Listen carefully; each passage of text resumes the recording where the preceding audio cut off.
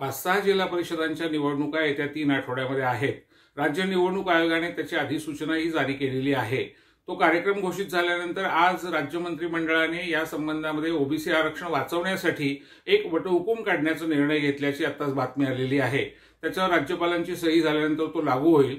परंतु एक गोष्ट स्पष्ट केली पाहिजे की पाच सहा जिल्हा परिषदांचं कामकाज आधीच सुरू झालेलं असल्यामुळे त्यांना हा लागू होणार नाही असा माझा अंदाज आहे. त्याशिवाय निवडणुका पुढे ढकलण्यासाठी हा अध्यादेश आहे असंही काही लोकांची समजूत झाली आहे. तर निवडणुका पुढे ढकलण्याचा अधिकारच राज्य सरकारला नाही असं नुकतंच नऊ तारखेला माननीय सर्वोच्च न्यायालयाने स्पष्ट केलेलं असल्यामुळे तो वटहुकूम त्यासाठी नाही. मग हा वटहुकूम कशासाठी आहे? तर हा वटहुकूम येणाऱ्या फेब्रुवारी महिन्यामध्ये ज्यांना आपण मिधी मिनी विधानसभा म्हणतो त्या मुंबई ठाणे पुणे नागपूर नाशिक अशा अठरा मोठ्या महापालिकांसाठी आहे. कारण त्यानंतर चोवीस जिल्हा परिषदांच्या पण निवडणुका येत आहेत. आणि त्यातलं जर ओबीसी आरक्षण वाचवायचं असेल तर त्यासाठी हा अध्यादेश जारी करण्यात आलेला आहे.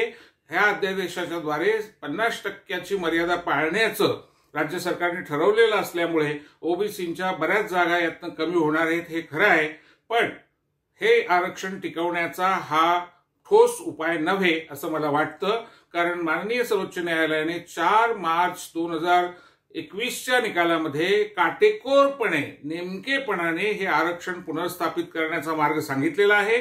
एम्पेरिकल डेटा जमा करणं मागासले पण सिद्ध करणं प्रतिनिधित्व सिद्ध करणं आणि पन्नास टक्क्याच्या आत राहणं.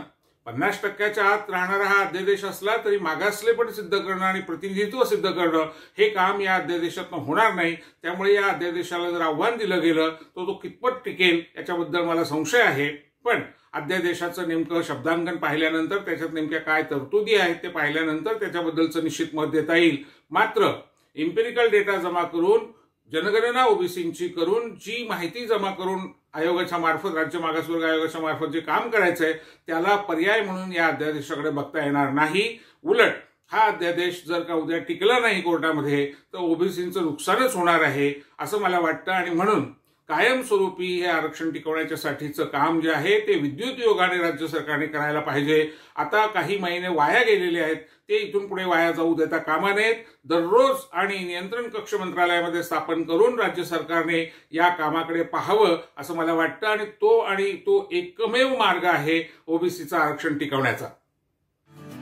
महाराष्ट्र टाइम्सचं यूट्यूब चॅनल सबस्क्राईब करा आणि लेटेस्ट अपडेटसाठी बेल आयकॉनवर क्लिक करा.